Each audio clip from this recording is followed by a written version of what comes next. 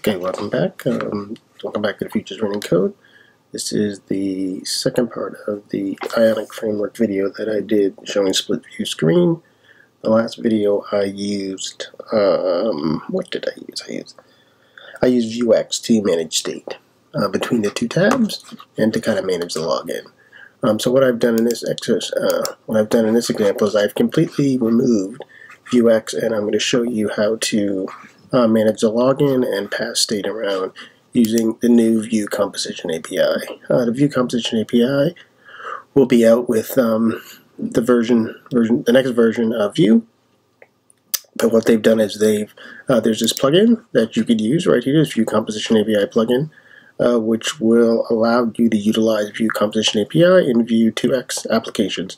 And since I'm not going to jump into the beta Vue at this point, but I want to show you the power of the Vue Composition API, um, we're going to um, fire up the Vue Composition API in this application.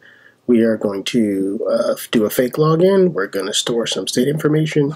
We're going to show you how to get access to the state information um, inside your app. So um, hopefully you find this enjoyable. Please make sure you like and subscribe, and let's get to it. So first we're going to start by importing the library. So let's get my uh, new terminal window. We're going to follow the directions here.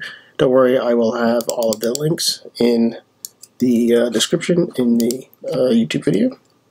So I think I have this installed. Well, that's not what I'm going to do. I think I have this installed already, but let's just um, go through the process so that we understand what's happening. Okay, we can get rid of this screen for now. We are going to load up the uh, Vue Composition API. We have that loaded. And the first thing that we need to do is make sure that we have access to the Vue Composition API in our app. So let's just um, cut and paste. We'll get the Vue Composition API here, and then since it's a plugin, we need to kind of do this Vue use with it. So we will go like this. So now we have the Vue Composition API. We have Vue Composition API set up in our application. And so the next step is to, let's actually create our, basically the equivalent of our hook. So we're going to go in here and we're going to use the same kind of naming convention um, where you say uh, use. So we're going to say use auth.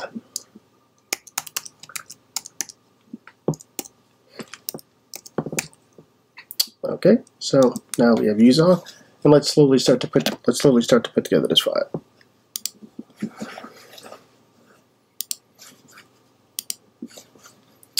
Okay. So we clearly need to import view. Oh no.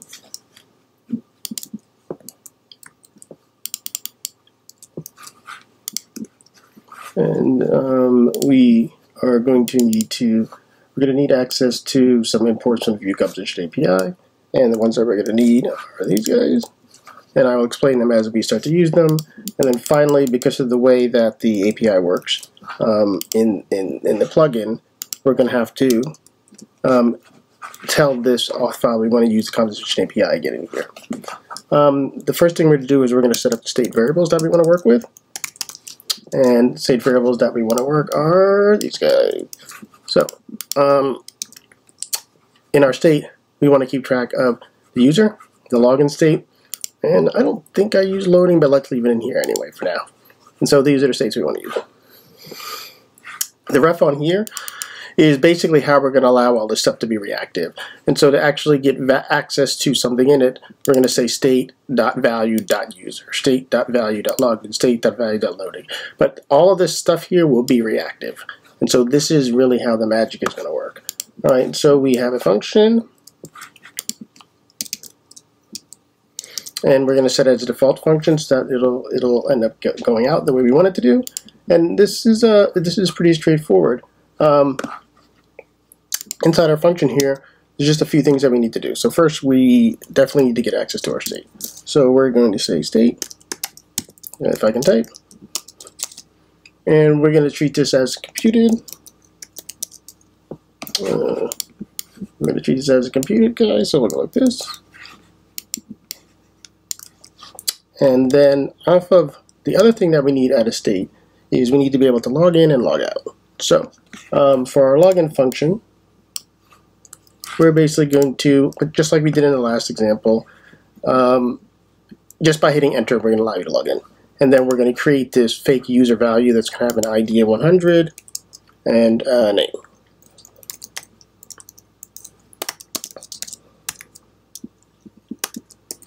Okay, and then once you log in, we're going to set the login state uh, to be true. And the next thing that we need is we are going to need a logout. And for logout, we basically want to clear out the user, and we also need to set the logged in state to false. So those are the things that we're going to need to get this guy going. Um, let's see, do I get this right? My state is log in, log out, and then we're going to return all this.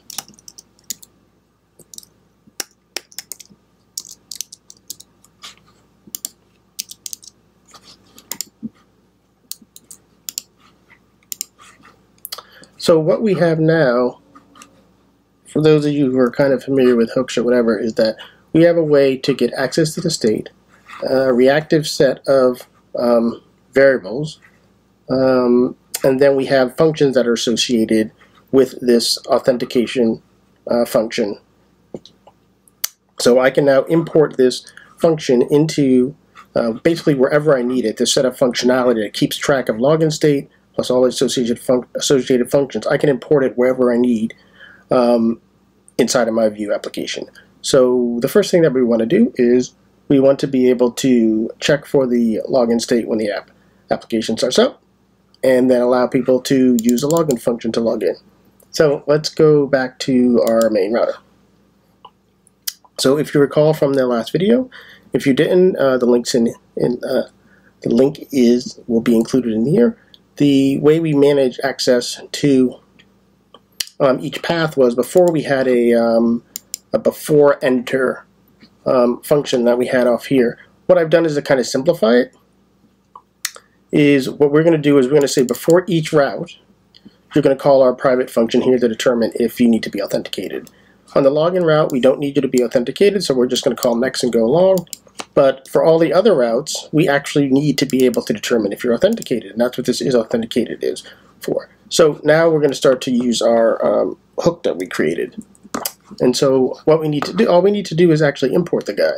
So let's um, go up to our top here, and let's import this, this uh, function that we just created.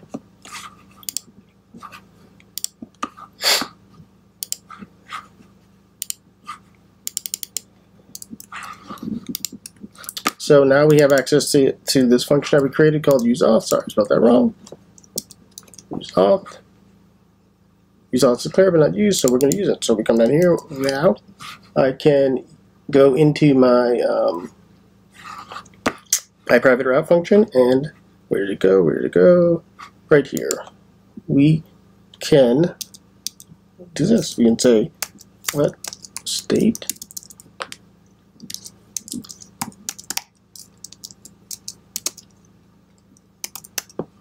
you'll use auth. Right, and you see the value that we're getting back. And then I can go down here and I can say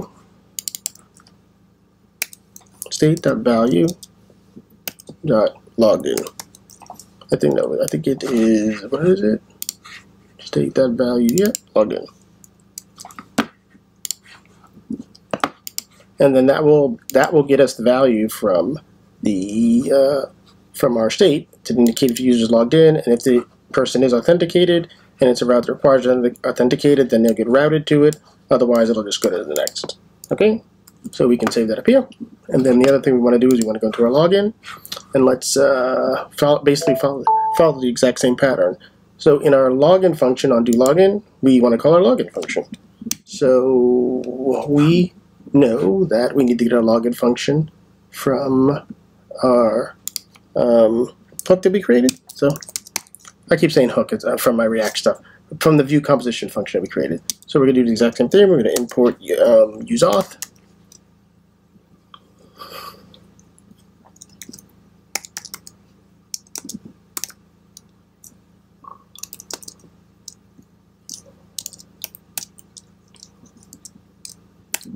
have to go to a different um, level now.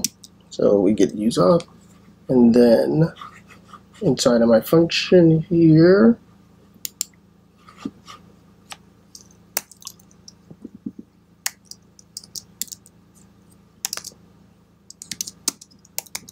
uh, do this.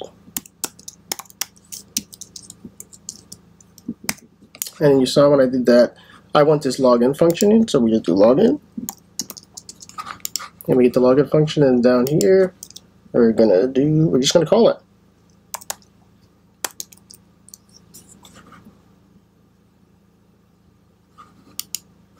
Yeah, we're inside the method, so let's just call login. And that will call my login function.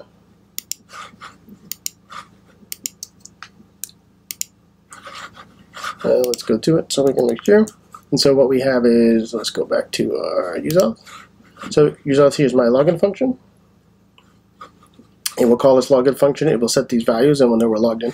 I'm not doing anything magical about putting in a wait or anything like that, but we're, we're setting the value. What we'll, what we'll do is we'll look inside um, the applications when it's running and we will look, we'll use the Vue tools and we'll see that these values are actually being set appropriately plus the fact that if there isn't a user set, when we attempt to go into my router, um, if there's no user set, um, this will be false, and it will never let me get to my, uh, it'll never let me get to this next page that login's trying to go to. So that's how we know it works. So let's test the login out first. All right, let's see if I did everything right. So like I said, there's no, we compile everything is my server running? My server is running. Let's see if this just works. All right, so I think it worked. So let's take a look in my Vue tools.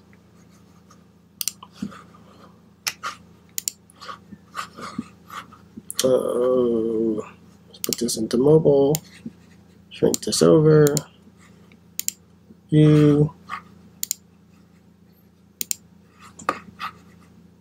home, Right, it says we're logged in. So I believe that we are after logged in. So let's let's just to confirm that we're logged in. Let's do this. Okay, let's just um, the way we can check that if it's logged in is that we can, as you know, in our auth we keep track in our state we have a user value that is set. So if we're logged in, then the user value should be set. So what we can do is we can go to our menu, which is visible. So let's go into menu. And what we're going to do is we are going to, right up in the top here, we're going to put in the header your email address to indicate that you've logged in. So I think we should be able to do the state.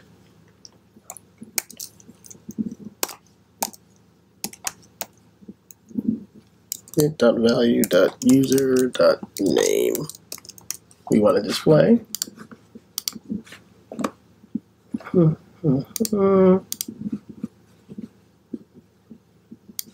And we're and we should be able to pull that value out of um, our use auth. so we come down in, in here and we're going to import it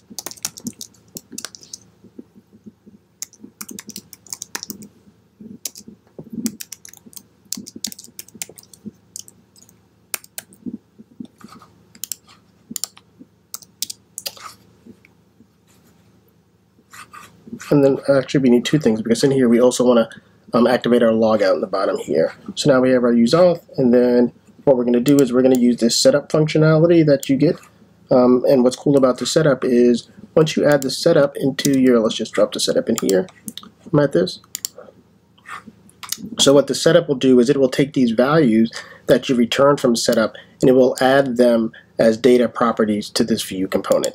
So let's uh, run this, let's save this again. And then what you'll see is if I go now into my menu, you see I have these additional values added in here. I have my user object and my login is true now added as part of the um, data object on my menu. So what I'm going to do is uh, what's it? Oh, it's complaining about my the way I'm using this. Um, where it go? Where it go? Doesn't like what I'm doing up here. I don't think.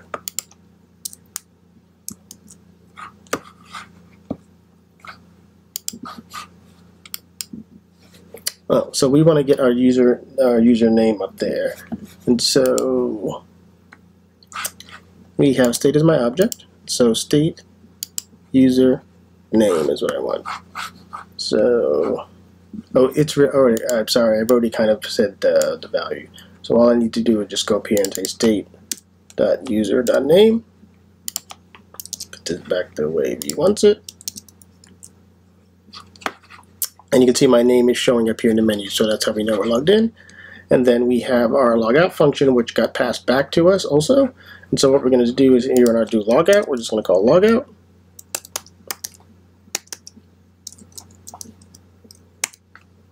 And because remember it's part of our data, so we have to say this here. Okay, so now if I come in here and I click on this, I have my name, I click logout, it closes the window. It transitions back to log out.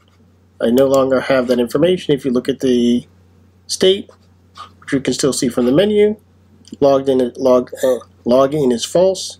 My user object is empty, so that's why I transition back to the state. The last thing you want to do is you want to get rid of this uh, menu here. You should not have access to this menu when you're in this logged in state. So we can use this same value that we have here, and we can just come up here and say Let's just hide the whole menu. So I think we can get away with just using our uh, v-if. So we'll just use a v-if up here.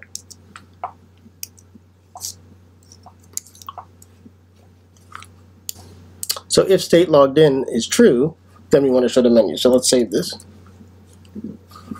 Hmm. Did I do that right? That should be working properly. Oh, I think, no, it's being hidden because I switched to logout state, and so it's trying to find something that's not there anymore. That's the problem. So I need to close the menu. I need to find the menu object, get the controller, close it, and then log out. Because otherwise, I'm logging out, which is taking the uh, menu out of the DOM. So that's what the error was. So the order does matter in this specific situation. So let's kind of reload this thing. We're logged out. We log in. See, I'm logged in. I have the information here. Also, if I go and I look at view and I look at my menu object, this down so we can see this. You can see my menu object. I have no error. Loading. Well, I need to fix that, but um, login is true. I have my user object. Log out. Everything's clean. Logged out. User's gone. Menu's gone. No access to the menu. So the key thing that we're trying to show here is that we have this global state object that I can get access to anywhere by importing it and then calling use useauth and pulling off the, either the methods that I want in this situation or if I am in the router and I'm trying to check your authentication status, I can just use auth and get the state. And the state will give me this value, will let me know if you're logged in or logged out. And then when I need a function, I can also use use auth. I can get my function and call a specific function. So this is a, a way to manage state without using Vuex. It's nice and clean. You can either call it and use it like this, or if we go back to here in the menu, how we use this setup function here, you can um, use it this way and return the objects that you want that will be treated as data properties in your object. So my menu object now has all these added properties that came from my state. Um, this was just a quick view of, this is just a quick demonstration of how to use Vue Composition API in Vue 2.0 um, using this Vue Composition API plugin. Um, I will post the code. This is the code from the last video that showed you the work using Vuex. Um, so it's your choice on if you like this kind of pattern of how Vuex manage state versus how, like if versus if you like the way our Vue composition works. A lot of people are going towards Vue composition, so I think it's important that you know it. Um, Once again, you'll be able to check out everything here on my YouTube uh, channel. Um, the future's written in code. Um, please make sure you like and subscribe. And all the links that were used here, um, the link to where the source code is, the link about the Vue Composition API, um, and the link about the actual plugin will be posted here. Please, I hope you enjoyed it. Make sure you like and subscribe. Take care.